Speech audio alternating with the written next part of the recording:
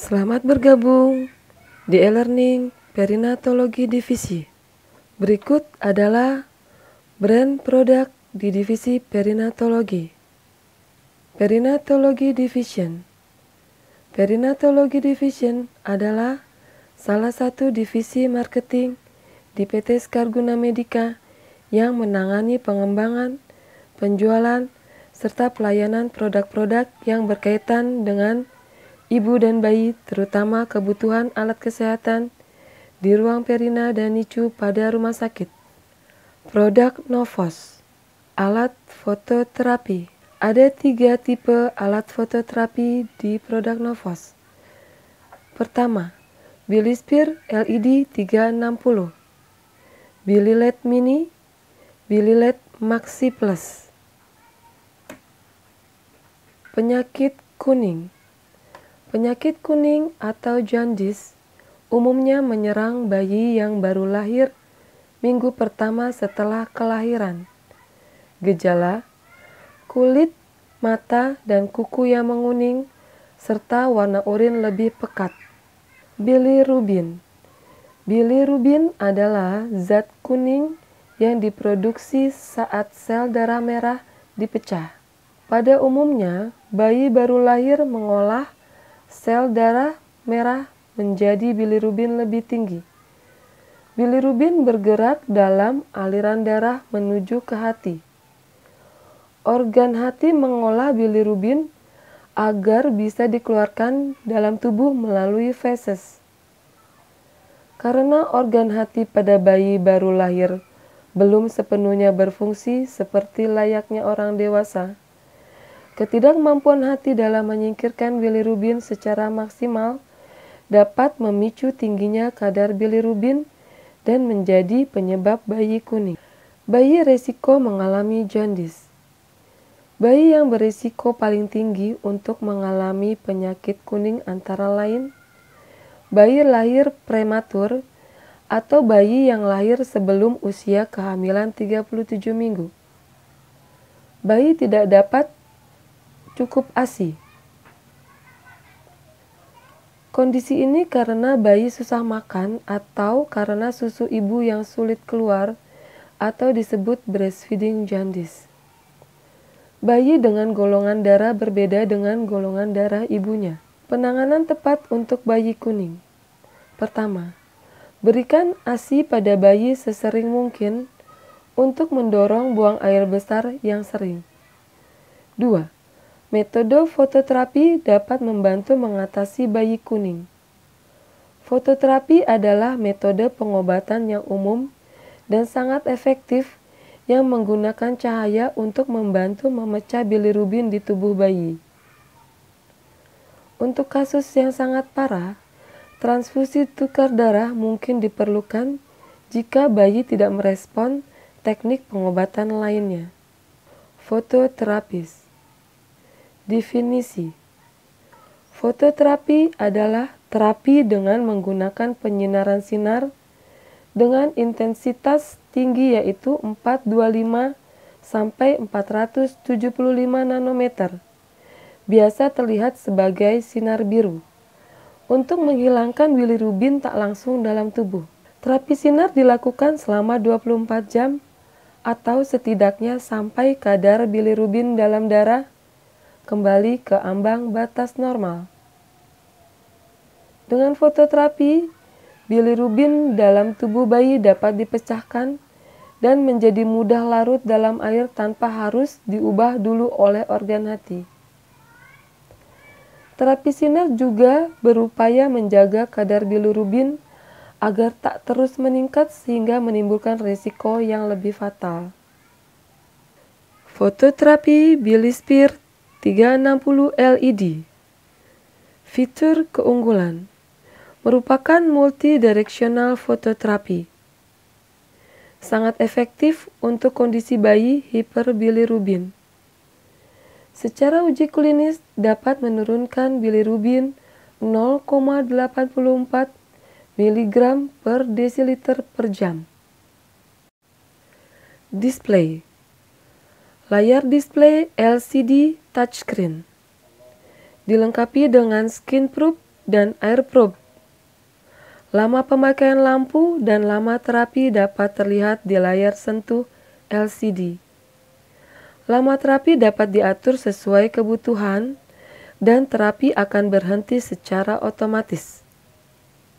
Audible dan visual alarm. Untuk mengatur tinggi atau rendah skin temperatur.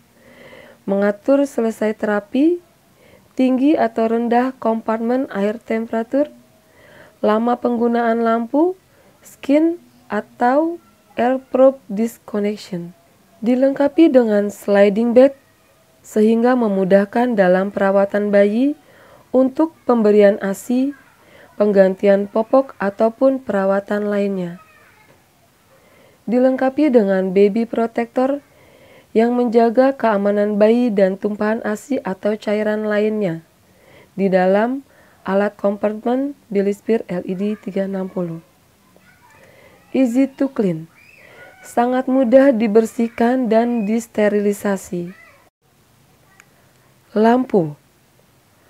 Lem lifetime sampai 20.000 jam. Intinya adalah ketahanan lampu bisa mencapai 20.000 jam. Lamp type atau tipe lampu. Terdapat 16 pieces blue light LED tubes. Intensity lamp 120 nanowatt per cm kubik per nanometer.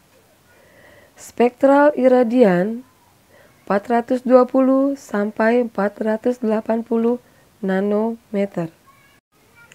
Thermo Elevation Safety System menjaga keamanan bayi di dalam fototerapi Bilispir.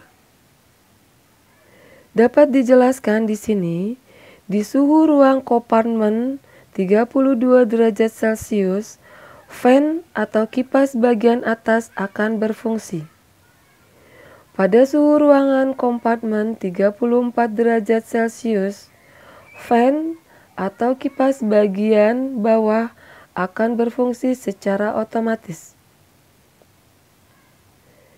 Di suhu ruangan kompartemen 35 derajat Celcius, kompartemen bagian atas akan naik secara otomatis 10 cm.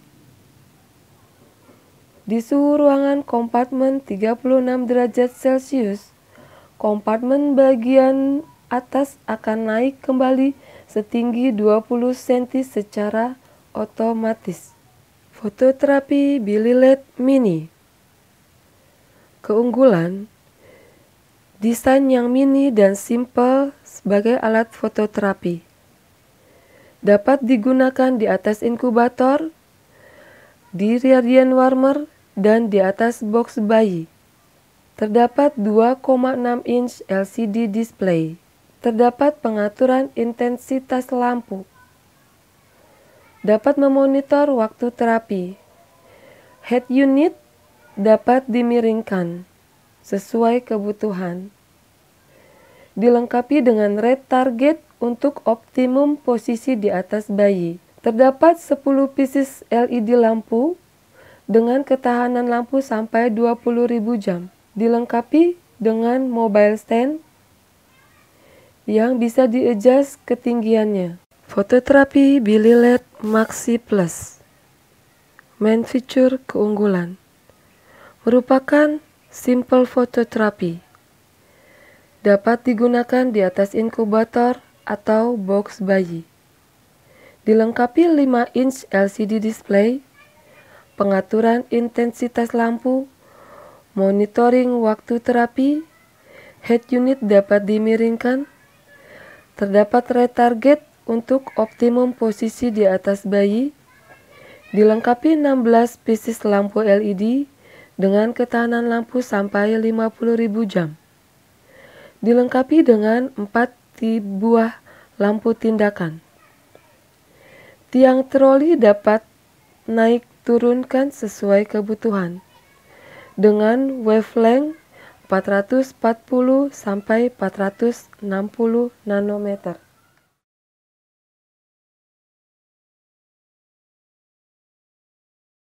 Bila di awal tadi sudah dipelajari mengenai alat fototerapi, selanjutnya Novos mempunyai alat inkubator dengan tipe KI1000, yang artinya adalah Kanguru Inkubator 1000. Berikut adalah tampilan untuk gambarnya. A dream come true.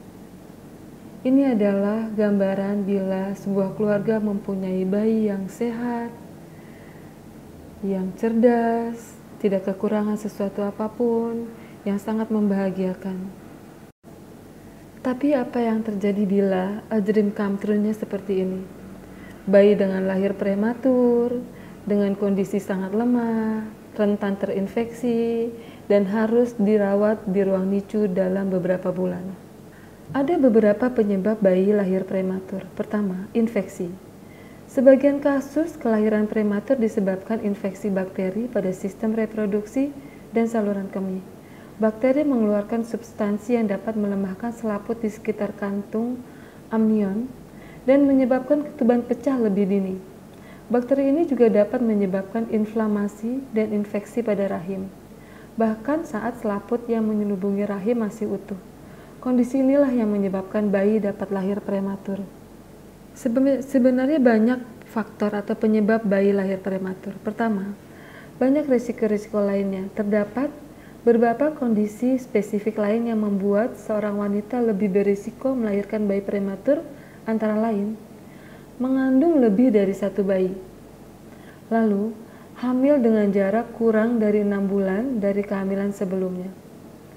Kehamilan melalui bayi tabung, pernah mengalami aborsi atau keguguran beberapa kali, mengalami trauma, depresi, kekerasan, atau cedera saat hamil, stres tinggi, Berat tubuh kurang dari le atau lebih dari normal sebelum hamil, berusia kurang dari 17 atau lebih dari 35 saat hamil, atau jenis pekerjaan yang melibatkan aktivitas fisik yang berat, atau beberapa kali mengalami pendarahan saat hamil terutama di semester terakhir. Bila bayi lahir prematur, untuk alat bantunya adalah infant incubator. Novos mengeluarkan infant incubator dengan tipe KI1000.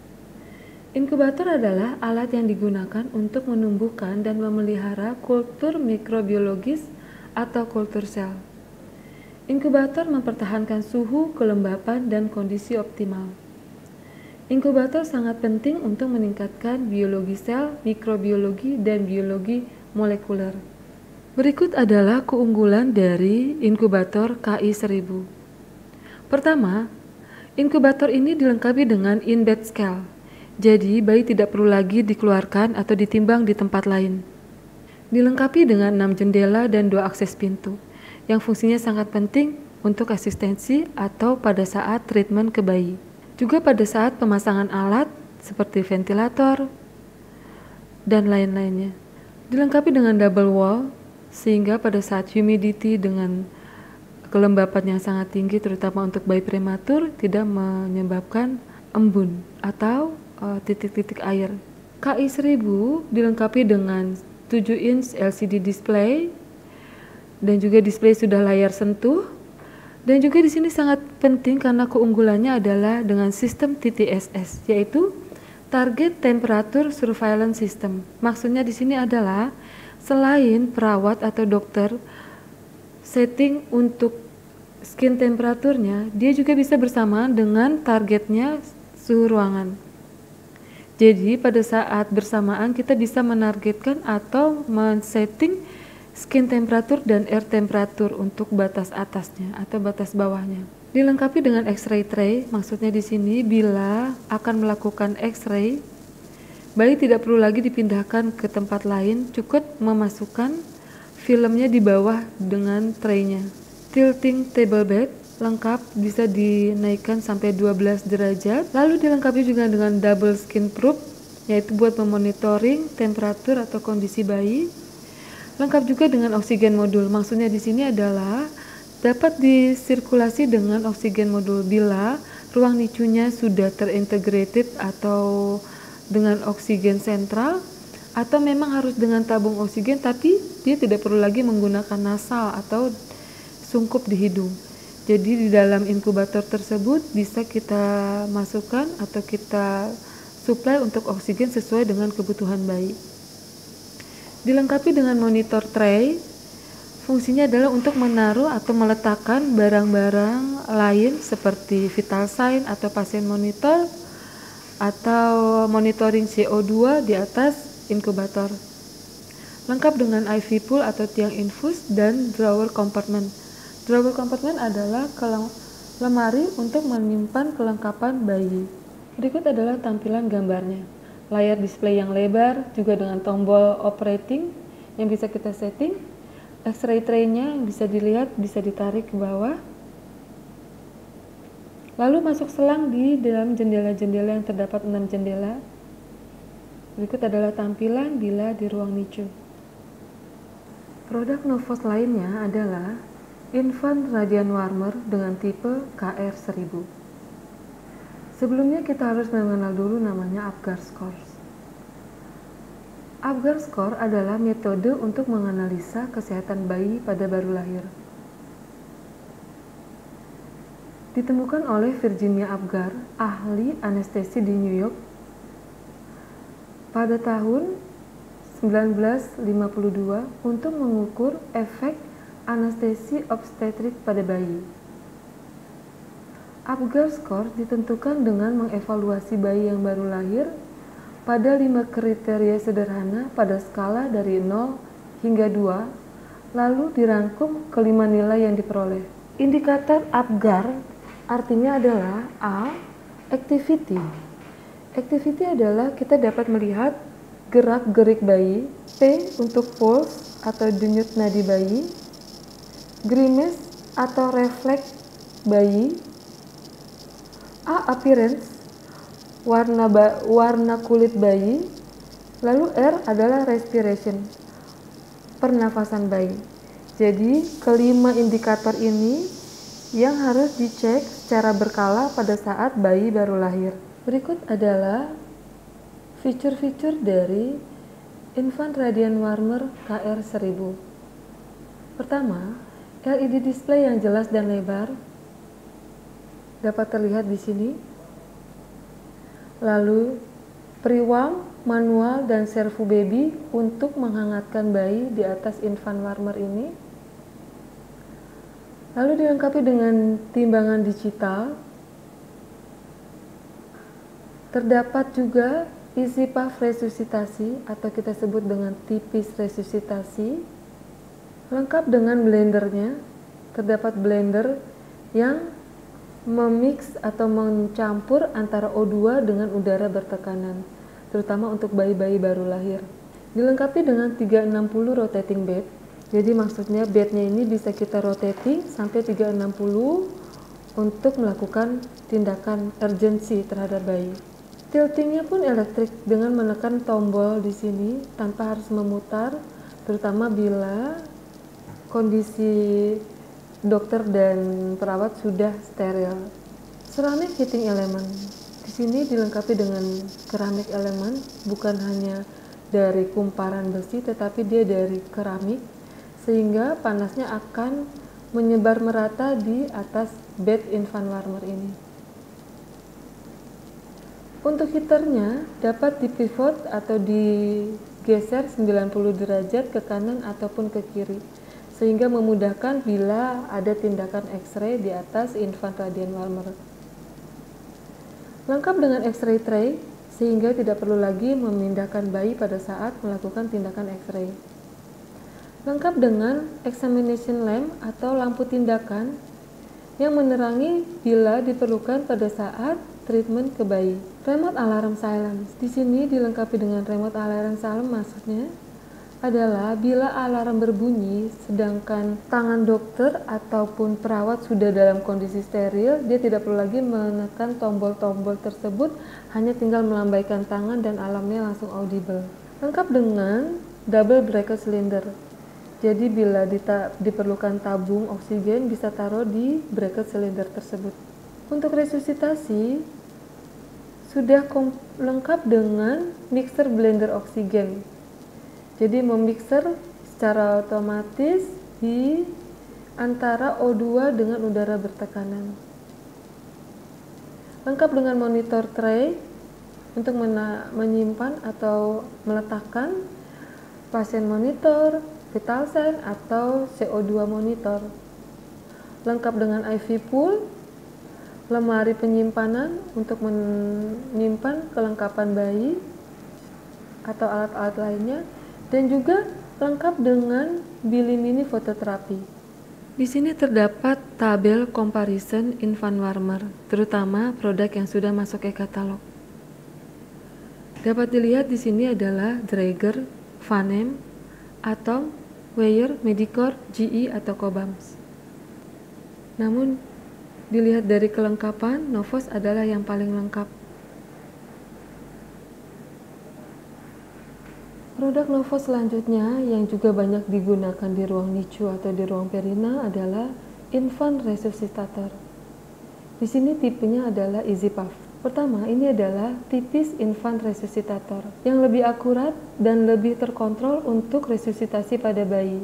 Dengan unit alat yang ringan, portable, dan mudah digunakan, tekanan udara yang lebih konsisten, reliable control of peak inspiratory atau PIP kita sebut, dan positif and expiratory atau PEEP pressure.